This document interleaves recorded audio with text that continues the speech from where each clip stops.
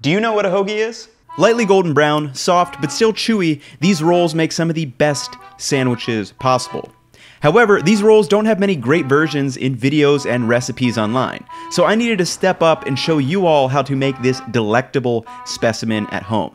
Because great sandwiches start with great bread. Hey everyone, I'm Ethan, a home cooking nerd who likes to find better ways to cook and share them with all of you. We've got a bit to unpack in this one, so everything is timestamped below, as always, if you want to jump around. But I have to say, this video brings me so much joy because hoagies are part of my childhood. And if you're wondering what a hoagie is, let me tell you. So if you aren't from Pennsylvania, have never been to Philadelphia, or ever stopped at a Wawa, you probably haven't heard of the term hoagie. A hoagie is a regional colloquialism for a sub sandwich. Thus, the bread for a hoagie is a hoagie roll. It's typically a cold sandwich with various cold cuts, lettuce, tomato, and onion, mayo too. It's kind of interesting though that the term hoagie is really not said anywhere else in the country. For me, I grew up in central PA, and if you go to Greenridge County Markets Bakery, which my family frequented, you'll see the term hoagie rolls. Now I was actually planning a different video where I needed a nice, you know, hoagie or sub roll, but I was a little bit disappointed in my store options here and the recipes and videos I found online. Other than Mike G from Pro Home Cooks, he's got a great cheesesteak video which actually inspired this recipe, so you guys should definitely check it out. Anyway, I think this bread roll deserves its own video, so I made one. And first we're gonna go over the key techniques that take this bread from okay to you'll never wanna make another sandwich without it. First, we need to understand the bread dough construction. In bread making, there are two basic groups of doughs, lean and enriched. Lean doughs are typically just flour, yeast, salt, and water. Think your baguettes, pizza, and sourdoughs, which are chewy and crunchy. Enriched doughs, on the other hand, have additions like sugar, butter, oil, eggs, milk, or cream. Think your brioche, your cinnamon buns, and dinner rolls, which are soft with a tender bite. These hoagie rolls are basically enriched baguettes through the addition of milk, sugar, and fat, but I've kept the amounts of sugar and oil on the low side, and I've also used a 65% hydration dough, which leaves the dough a little chewier like a lean dough. And though it's not exactly a crispy exterior, you'll notice some light cracks on the exterior when it's pressed in. Now that we've got that covered, let's walk into the next four ingredients and techniques that make these rolls shine. And I do mean that literally, like these techniques will help the dough shine. First is the addition of diastatic malt powder, which is basically magic pixie dust that makes your bread look and taste better. But let's actually unpack what it does because this is the first time that I've used it too, and I was floored by the results.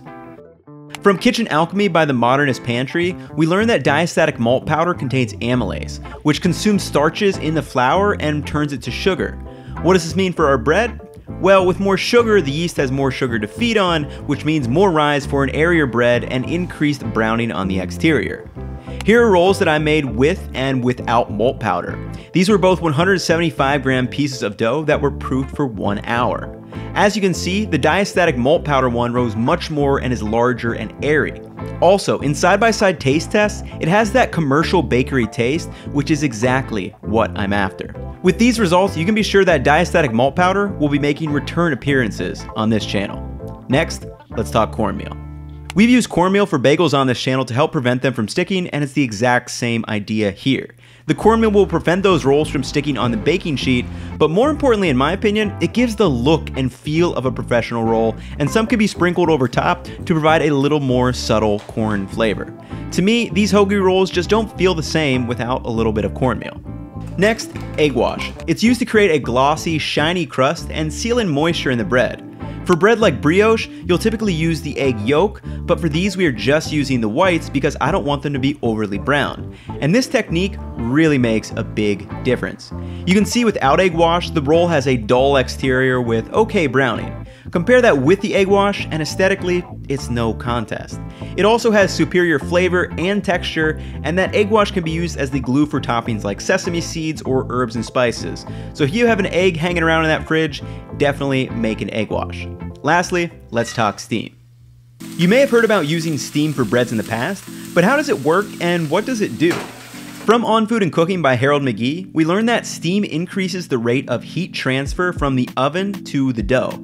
Specifically, he notes that the surface of the dough will reach 195 degrees Fahrenheit in 4 minutes if you don't use steam, compared to just 1 minute if you do use steam, a 300% increase. As the steam condenses on the loaf, the water keeps the crust from drying out, which means more oven spring. More oven spring gives us a larger and lighter loaf. The water also gels the starches on the bread, giving us a better crust, the same idea behind boiling bagels in water before baking them. In summary, the dough construction, diastatic malt powder, cornmeal egg wash, and steam all play key roles in developing this beautiful hoagie roll. But enough talking, let me show you the step-by-step -step recipe, and then we'll make a sub and get out of here. To start, warm 260 grams of milk in the microwave for about 50 seconds. Ideally, the temperature is between 105 to 110 degrees Fahrenheit to optimize yeast activity. Then you're going to add 6 grams of yeast along with 8 grams of diastatic malt powder and stir that to combine. Let this stand for 3 to 5 minutes until some light foam surfaces and bubbles are visible. This is known as proofing the yeast and it's done to test if the yeast is alive. If there is no foam surface or little bubbles, the yeast is likely dead and should be discarded for new yeast. Meanwhile, add 400 grams of flour, 10 grams of honey, 20 grams of olive oil, and 8 grams of salt to a large mixing bowl. Once the yeast is proofed, Pour in the mixture and vigorously mix the dough with your hands until no dry flour remains in the bowl and a cohesive mass forms. This should take about 2 to 3 minutes.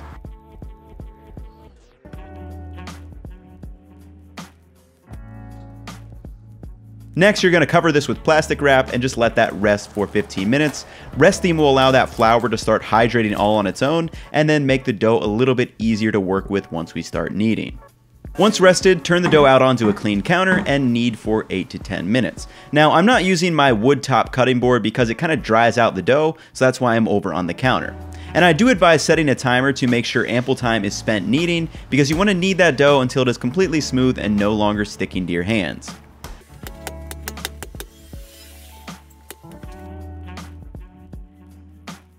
After kneading the dough, cut off a piece and test for gluten development by carefully stretching the dough very thin to check for a see-through window before tearing. This gluten window test is the key to understanding if the flour has been hydrated enough, which is how gluten is developed. If the dough tears before getting to a slightly translucent window, continue kneading for another couple of minutes. Once done kneading, add the dough to the mixing bowl and cover with plastic wrap. You're going to let this rise until it's doubled in size, about 45 to 60 minutes, though it could take longer depending on the yeast and the room and dough temperature. Once doubled in size, punch the dough down and divide into four equal portions, roughly 175 grams each. Using your fingertips, lightly press and stretch the piece of dough into a rectangle about 8 inches wide and 1 inch thick. You're going to tightly roll the dough from the bottom to the top and then press and seal the seam created on the bottom of the roll. Now you should have a log with the seam side down, and then applying even pressure with the palm of your hands in the center of the dough, just begin gently rolling the log out into a cylinder about 10 inches long. And here's what it looks like from my point of view.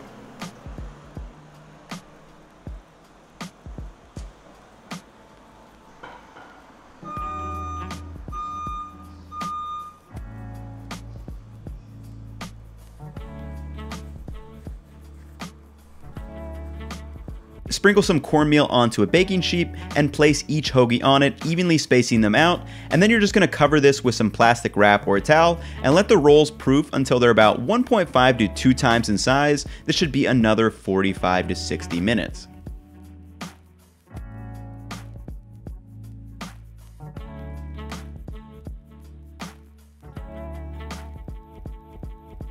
With 15 minutes of proofing left, preheat the oven to 375 degrees Fahrenheit and place an oven-safe pan or baking sheet on the bottom rack of the oven.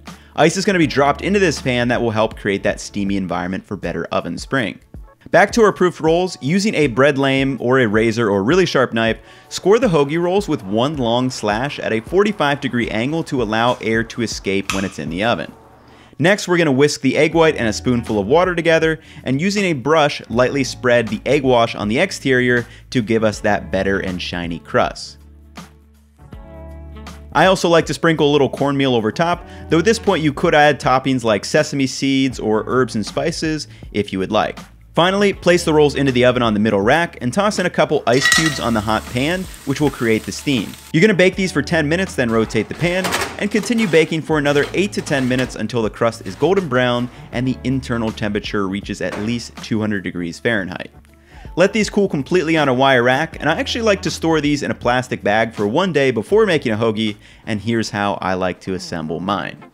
First, I start with a layer of mayo followed by three pieces of provolone cheese. Now it's time for the meats. I went for four slices of roast turkey, three slices of mortadella, and six slices of salami. For some crunch, add lettuce, some fresh tomatoes, which are just starting to get good, and some thinly sliced red onions.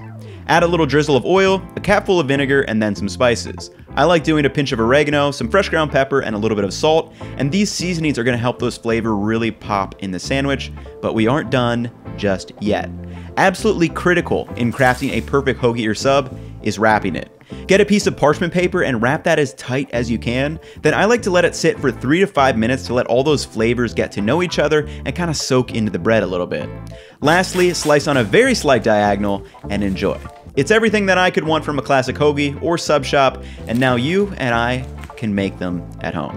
All right, everybody, that's gonna wrap it up for the video. Recipe will be up on my website. Hope you guys enjoy the rest of your Sunday. I'm gonna enjoy the rest of this hoagie.